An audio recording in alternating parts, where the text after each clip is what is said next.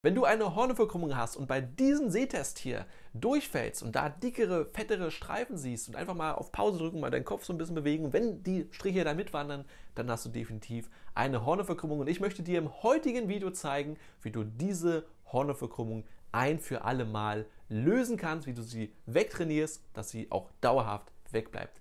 Wenn dir dieses Format gefällt, gib gerne einen Daumen nach oben, abonniere gerne den Kanal. Solltest du Fragen zu diesem Thema haben oder auch andere Fragen haben, gerne unterhalb des Videos mal kommentieren. Ich beantworte jeden Kommentar, freue mich, da, freue mich darüber. Oder wenn ihr Videovorschläge habt, gerne auch dazu etwas reinschreiben. Wenn du diesen Test jetzt gerade gemacht hast und wahrscheinlich gemerkt hast, dass sich diese Striche da irgendwie mitbewegen oder das Video auch mal gerne pausiert hast, ja, und du gesehen hast, okay, die Striche bewandern sich mit, das habe ich nicht irgendwie animiert, ja, dann bist du in hundertprozentiger Sicherheit, dass du an einer Hornverkrümmung leidest. Alternativ habe ich dir hier auch nochmal einen anderen Sehtest vorbereitet. Den kannst du mal kurz auch nochmal pausieren. Dort hast du vier verschiedene Kreise und diese Kreise, je nachdem, wo du eine Hornverkrümmung hast, sieht ein Kreis deutlich unterschiedlich aus, deutlich schärfer aus. Ja? Auch da mal den Vergleich, du den Kopf ein bisschen neigst, wirst du merken, dass der Kreis plötzlich umspringt ja? auf einen anderen, den du dann deutlich besser und schärfer siehst. Und es gibt genau drei bzw. vier Schritte, die du einhalten solltest, um entsprechend deine Sehkraft zu verbessern, um deine Hornverkrümmung loszuwerden. Denn die Hornverkrümmung ist mit das einfachste und schnellste, was du beim Augentraining wirklich verbessern kannst. Ja? Wenn du eine genaue Schritt-für-Schritt-Einleitung generell haben möchtest für dein Augenproblem, weil du beispielsweise noch eine Kurzsichtigkeit hast oder eine Weitsichtigkeit oder vielleicht auch ein schielendes Auge, Unterhalb des Videos habe ich dir mal einen Link vorbereitet. Dort kannst du dich kostenlos zu meinem Workshop anmelden. Den halte ich regelmäßig. Dort kannst du dich einfach eintragen und mit mir gemeinsam in die Welt des Augentrainings starten. Ja, ich nehme dich quasi mit an die Hand. Ich zeige dir von A bis Z, was du genau machen musst, wenn du eine Sehschwäche hast. Und ich zeige dir auch genau, was du machen musst für die jeweilige Sehschwäche. Was ist eigentlich überhaupt eine Hornhautverkrümmung und wie schaffe ich es dann überhaupt dann mit Augentraining diese Hornhautverkrümmung zu lösen? Ich zeige dir jetzt mal hier ein Bild. Unser Auge hat ja mehrere Muskeln, sechs Stück an der Zahl, zwei schräge und vier gerade. Zum einmal zum natürlich von links nach rechts gucken, nach oben, nach unten und natürlich auch können unsere Augen sich so ein bisschen schwanken, ja? Und diese Muskeln haben je nachdem, wie man sie benutzt, eine ja, Anspannung oder eben auch nicht eine Verspannung. Und es kann sein, dass je nachdem, wie dein Alltag so aussieht, dass einige Muskeln sehr angespannt sind. Das kann beispielsweise passieren, wenn man häufig vorm PC sitzt, häufig vorm Handy sitzt und sehr viel im Nahbereich ist. Dann kann es wirklich passieren, dass unsere Augen in gewisser Weise angespannt sind, verkrampfen oder auch zu locker sind. Und dadurch, du siehst ganz vorne, unser Augenmuskel geht bis rein in unsere Hornhaut. Unsere Hornhaut ist so unser Schutzschild, wenn irgendwas ins Auge fliegt, dass unser Auge nicht sofort kaputt geht, sondern so ein bisschen uns schützt, ja. Und das ist sozusagen der Grund, dass überhaupt eine Hornhautverkrümmung, wie der Name schon sagt, entstehen kann. Denn dadurch, dass etwas zu sehr zieht oder zu wenig, können dadurch Unregelmäßigkeiten in unserem Auge entstehen. Und ich weiß, einige Optiker sagen, halt, Moment, man kann seine Hornhaut überhaupt nicht verändern, da hilft nur eine Brille. Es gibt ja auch sogenannte Nachtlinsen, die legt man sich auch nur auf die Hornhaut im Prinzip rein und dann formt die ja die über die Nacht gerade über den Tag verteilt. Natürlich nimmt die Hornverkrümmung wieder zu, weil die, das eigentliche Problem ist ja da auch wieder gesagt nicht gelöst. Aber letztendlich zeigt er trotzdem, dass es ein medizinisches Produkt gibt, welches auch unsere Horne verändern kann. Also schaffen wir das mit Augentraining genauso. Und ich werde jetzt genau verraten, was du genau machen musst. Fangen wir aber nun zunächst an mit dem allerersten Schritt, beziehungsweise der zweite Schritt ist es ja. Der erste Schritt war ja der Sehtest. Der zweite Schritt ist jetzt, dass wir unsere Augen erstmal lockern und entspannen. Dazu kannst du entweder einen Stift nehmen, ich kann auch, nehme auch gerne meinen Daumen und bewege einfach mal die im großen Kreis. Du kannst einfach mal mit mir mitmachen, ja, und du siehst einfach, dass die Kreise, hoffentlich siehst du das, immer größer werden. Also ich habe klein angefangen, ja, und ich werde immer größer, so dass ich quasi irgendwann komplett am Rand bin mein Kopf bleibt gerade, nur meine Augen bewegen sich, ja. Und wenn ich den Fokus nicht komplett von meinen Daumen verliere, dann drehen sich auch meine Augen schön im Kreis. Das kannst du jetzt mal machen, um deine Augen ein bisschen zu lockern. Ja, die Augenmuskeln, die sind ein bisschen angespannt. Dadurch ist nämlich so eine Hornverkrümmung entstanden. Dann kannst du natürlich das Ganze auch nochmal in die andere Richtung machen, dass du quasi von klein anfängst und immer größere Kreise ziehst und dein Kopf bleibt, wie gesagt, schön gerade. Nur die Augen verfolgen das.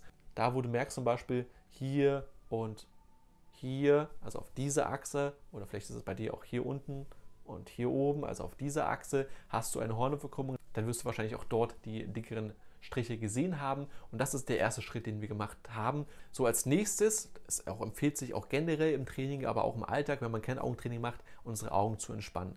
Einfachster Trick ist natürlich, die Augen zu schließen. Im ersten Schritt passiert da natürlich erstmal gar nichts, denn letztendlich können unsere Augen sich durch diese ganzen Eindrücke, die wir gerade haben, nicht dem Moment wirklich hundertprozentig entspannen. Die Entspannung würde viel zu lange dauern. Wir können das so ganz schlecht in unseren Alltag integrieren. Deswegen nehmen wir unsere beiden Hände dazu, reiben sie aneinander, dass da eine gewisse Hitze entsteht. Denn Hitze entspannt unsere Augenmuskeln. Wir legen dann unsere Hände auf unsere geschlossenen Augen und versuchen nochmal tief ein- und auszuatmen. Ja, die Hitze, die absorbieren unsere Augenmuskeln, sie entspannen sich dadurch und dadurch entsteht auch meistens auch eine bessere Sicht und unsere Augen sind eben nicht mehr so angestrengt und trocken, wie sie vielleicht vorher waren. Das kannst du, wie gesagt, machen, auch wenn du das Training regelmäßig ähm, nachmachst, denn auch Augentraining ist ja eine gewisse Art von Training und das kann auch sein, dass es da zu Anspannungen kommt und zu Überanstrengungen vom Auge. Deswegen solltest du da entsprechend häufig auch Pausen machen in Form beispielsweise dieser Entspannungsmethode. Ja? Also sind wir jetzt schon beim dritten Schritt angelangt. Wir versuchen jetzt mit unserer Daumenübung unsere Sehkraft zu verbessern. Dazu nutzen wir einfach einen ganz geringen Abstand, also von ganz fern zu ganz nah, ja, und wir versuchen den Abstand wirklich so gering wie möglich zu halten. Also ich nehme meistens entweder eine Hand oder du kannst auch, wenn du ganz krass bist, zwei Finger nur nehmen, dann hast du wirklich einen ganz, ganz nahen Abstand. Du solltest so einigermaßen mit beiden Augen noch deine Daumenspitze scharf sehen. Du kannst natürlich auch einen Stift oder sonstiges nehmen mit einem kleinen Text drauf, ja, dass du immer den Fokus auf diesen Punkt hast. Und du solltest darauf achten, dass du nicht im Laufe des Trainings immer weiter nach hinten gehst, sondern dieser Abstand sollte auch wirklich bleiben. Wie gesagt, du kannst auch mit der ganzen Hand das machen, das ist gar kein Problem. Aber der Abstand sollte, wie gesagt, nicht größer sein als diese Handfläche, also der sollte wirklich recht nah sein und dann solltest du versuchen, einigermaßen den Punkt vor dir scharf zu sehen. Und ich mache das jetzt mal direkt vor. Wie gesagt, du kannst direkt mitmachen. Ich gehe jetzt nämlich jede Achse einmal entlang, soweit es geht. Der Kopf bleibt gerade und ich versuche wirklich, soweit es geht, so richtig, dass es weh tut, quasi in die äußersten Regionen meines Sichtfelds. Ja? Ich versuche, soweit es geht, du siehst, ich versuche hier auch mal ein bisschen das noch weiter zu strecken, soweit es eben geht, geh dann langsam wieder zur Ausgangsposition. Während du das machst, kannst du auch ein bisschen auf deine Atmung achten. Ja? Einatmen, wenn du nach oben gehst, kurz halten, ausatmen, ja, nach unten wieder. Und so entspannst du quasi zusätzlich deine Augenmuskeln, weil du den Druck sozusagen runternimmst vor deinen Augenmuskeln. Und wir machen das jetzt auch mal, wie gesagt, schön jede Richtung, jede Achse einmal entlang. Und du merkst beispielsweise, in einigen Richtungen geht es besonders einfach und in anderen, da zwickt und zwickt es ja ein bisschen. Und dann weißt du, dass genau da die Verspannung ist, die wir lösen wollen. Denn wir haben ja gelernt, die Augenmuskeln sind in gewissen Regionen verspannt und sie drücken dadurch zu sehr auf unsere Hornhaut und dadurch versuchen wir jetzt quasi diese Muskeln zu entspannen und dann zieht sich die Hornhaut wieder schön glatt. Ja? Wenn wir das gemacht haben, auch da kannst du wieder den Zwischenschritt einsetzen mit der Entspannungstechnik. Wenn du das jetzt geschafft hast und du schon merkst, okay, deine Augen sind total fit, ja, sind total rund, das kannst du nach zwei, drei Tagen trainieren, mal probieren, dass du dann merkst, okay, nach dem zweiten oder dritten Tag, okay, das geht ja jetzt total einfach in jede Richtung. Das ist ja super easy. Dann machen wir den letzten Schritt. Und den würde ich auch wirklich erst dann empfehlen, wenn du genau das gerade eben, was ich beschrieben habe, erreicht hast, dass es alle andere super easy geht. Weil wenn du jetzt diese Übung machst mit dem tibetischen Rad, da hinten steht es übrigens, ähm, dann ist es natürlich sehr anstrengend für unsere Augen und ist, wie gesagt, nicht förderlich, unsere Augen zu überanstrengen. Der letzte Schritt würde nicht sein, ich blende es hier auch nochmal in groß ein, diese Seetafel zu nutzen, indem wir unsere Nase direkt an den weißen mittleren Punkt ansetzen. Also auch wieder ein ganz, ganz naher Abstand. Und das schaffe ich tatsächlich selbst mit trainierten Augen nicht auf Anhieb alles einmal vorzumachen. Deswegen werde ich es jetzt noch mal ganz kurz erklären. Denn wir versuchen auch den Abstand wieder absolut zu minimieren, so richtig nah und gehen dann langsam nach oben über diese einzelnen Balken, ja. Versuchen auch oben wieder zu bleiben und machen das gleiche wie ich gerade eben auch. In jeder Achse einmal von oben nach unten und von links nach rechts, ja. Und wenn du das geschafft hast, ja, dann bist du schon mal sehr, sehr gut. Aber das war es noch nicht, denn das Letzte, was du machen musst, ist einmal Luft holen und dann die ganzen äußeren Punkte einmal anzufokussieren, auch mal gegen den Uhrzeigersinn. Und wenn du das dann regelmäßig machst, roundabout so eine Woche sollte der ganze Prozess dauern.